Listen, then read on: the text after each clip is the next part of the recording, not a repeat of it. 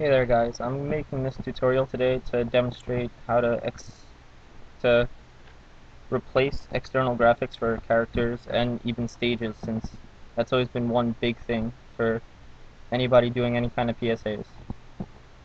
So depending on whatever character you want, it's it's actually really really simple. You can see here that all characters and even stages have this EF file either EF or it's either an ARC or a BRRES file. So when you open down this EFLS file, you can see that this is all the external graphic names.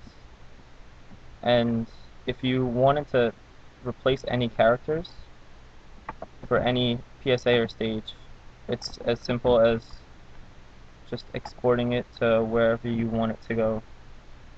And for this, I'm putting it in this folder.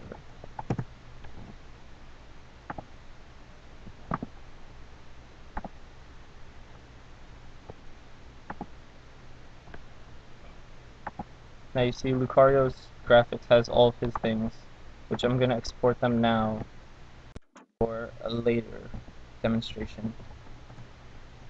Just rename them to Luke.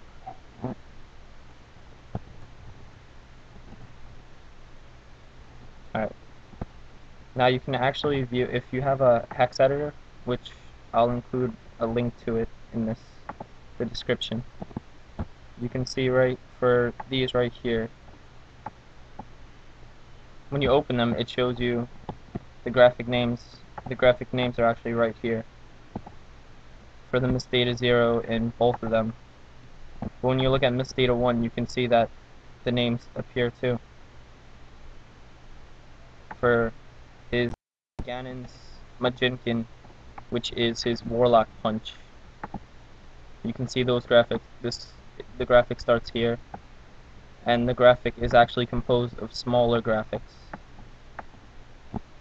These the fire the fire the subo Haretsu and smoke. Those four graphics make up the warlock punch in its entirety. The same thing for Lucario. This Lucario Hado is his aura palm. It's that aura that appears at all times in his palms. These are the four graphics that make it up. So, for any character, if you actually want to edit a graphic, for some, calling up some external graphics that have models with PSA, you can edit out the graphic. So when you call up the graphic effect that has a model, only the model appears. So it lets you do more with PSA. So if you wanted to remove a graphic from a character entirely, just highlight where it says the main graphic, which for him it's Hado. As you see right here. For that you simply have to highlight it and then fill in selection for both of them.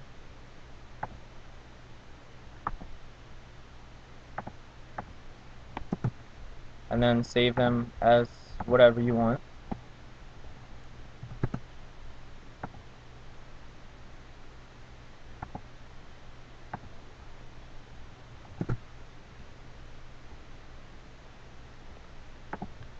And then for this this part, so that Lucario will no longer have this Lucario Hado, just replace this Mist Data 0 with this, the one that would be in here it didn't save properly.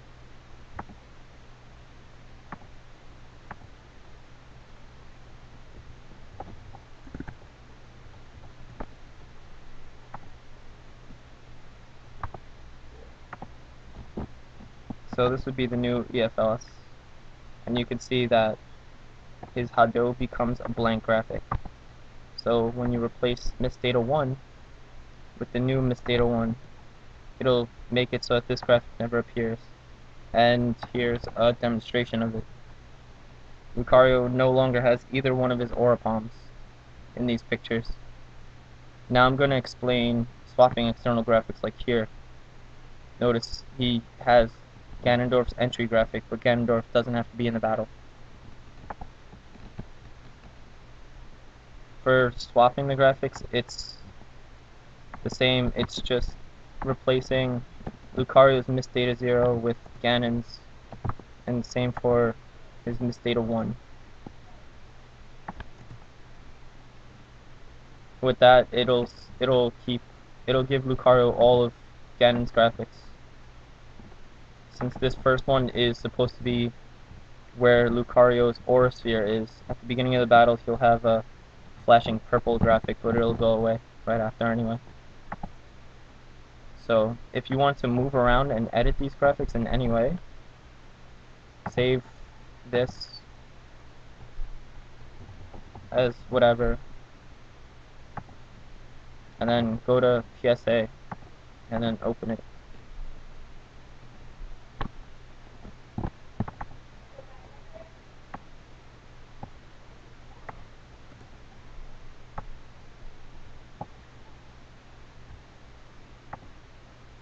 Okay, so you can go to any of the sub actions or anything that has that would use Lucario's external graphics or anything of the sort. Like here, his attack high. This is that aura graphic that would be on his foot. But his the file ID never changes even if you swap like since Lucario's graphic file ID is 22, it's going to stay 22, even if he has somebody else's graphic effects. But he's calling up graphics 6, 2, and 3, which would, this is 2, this is 3, and this is 6. This is, uh, this is the ground side B, and then this is the hold and the, the startup and the hold of the Warlock Punch. So he'll use those three graphics on his foot during this attack. It's just a matter of changing the graphic ID number for the character and keeping the file ID as the initial that the character always has. And that's all there is to characters. And for stages, it's the exact same thing.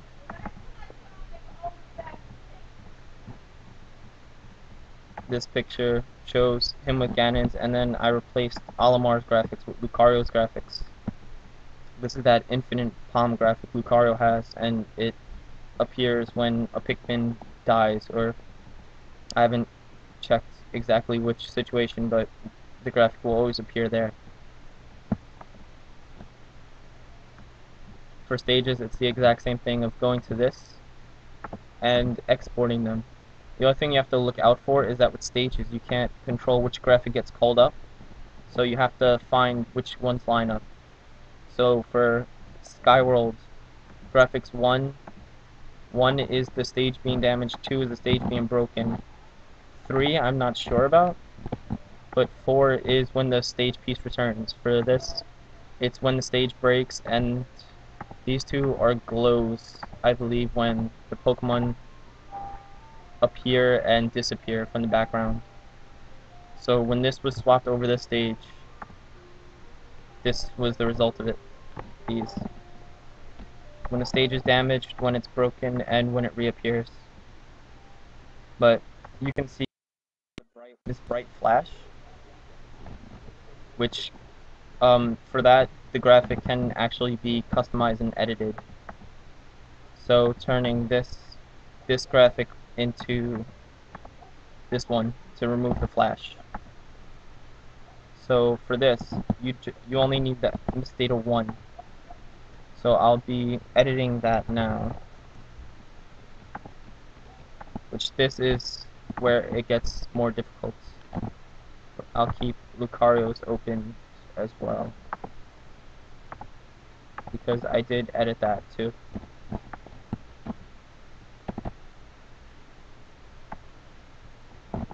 Okay. So that bright flash, this is the this would be oh my mistake. I had the wrong one.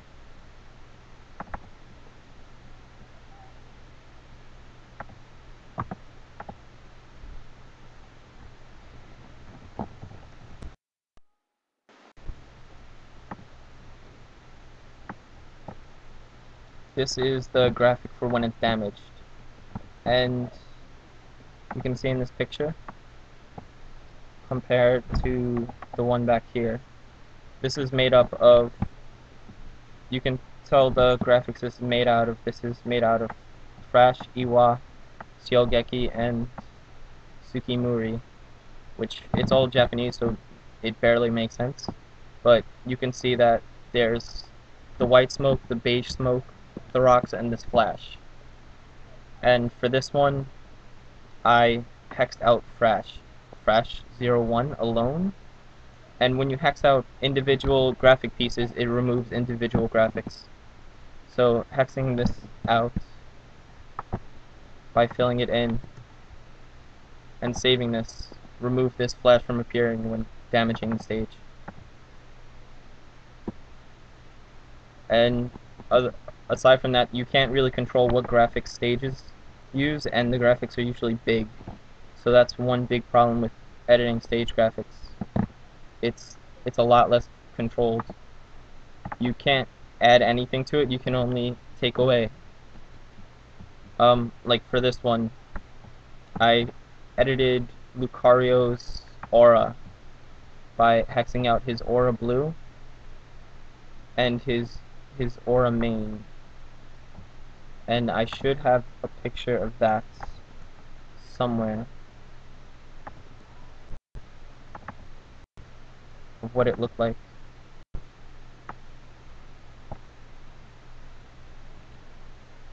This one. See when I hexed out the aura main and aura blue, it removed the the main and the blue graphic. So it only left this this core this core dark purple swirl and there's a little red swirl that appears every now and then, but when you edit the graphics, you can do things like this by removing individual things, and this applies to any single missed data 1 in any EF file for any character or stage. So you can remove individual graphics. You can't put in graphics from other characters, but you can take away, and that even applies to the general graphics in the entire game since the game used it in the COM3, the game uses the EF.BRRES for all the graphics in the game. So you can even fully customize all the graphics by taking away certain aspects. Because like this, this purple light actually looks looks really, it looks a lot cooler on Lucario than the big blue flaming ball and there's not much else to editing graphics. It's pretty straightforward, copy paste, and if for a character, then doing the right PSAs. If for a stage, it's just a matter of graphics conveniently lining up for you. And a little side note as well, since I'm talking about it, for because people port other characters over and if you ever want to port um, a sound from one one character or stage to another, miss data to control sound. I'm just not I'm not entirely sure how to edit this at the moment. But you can always experiment by exporting this and replacing it on a character or stage to carry over sound effects because this controls all the sounds of the character. That's that's all for graphic effects editing and a little extra about giving different characters different sound files. For characters, PSA is the easiest way to work with it. Stages, it's a matter of convenience and figuring out what works with what, or designing a stage around swapped effects and things like that. And that's all for this, and hope this helps everybody and can lead to a lot of new things with PSAs and even some stage hackers. That's all.